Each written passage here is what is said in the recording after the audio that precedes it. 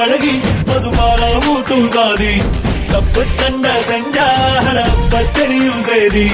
அள்ளிக்காட்டு புள்ள தாச்சி கல்ல பெத்த வீரனடா. பள்ளிக்கட்டில் மாடு இழுத்தா வரையும் உடனே மாலையடா. சித்த கிழமை எழுதி வச்ச ஒத்த சொத்து வீரமடா.